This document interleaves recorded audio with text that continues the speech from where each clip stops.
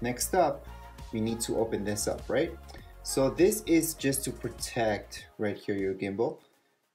To open it up, all we have to do is just apply some pressure this way. So I'm applying the pressure this way. And that way, this just comes off. So that's how it comes off. And we can always place it back on like so. Just put the gimbal on the right side. there we go. Then I can just slide this in again and lock it in there. So again, that's just to protect our gimbal. You can always take it off and put it back on. So that's how you guys can take this off and put it on your drone.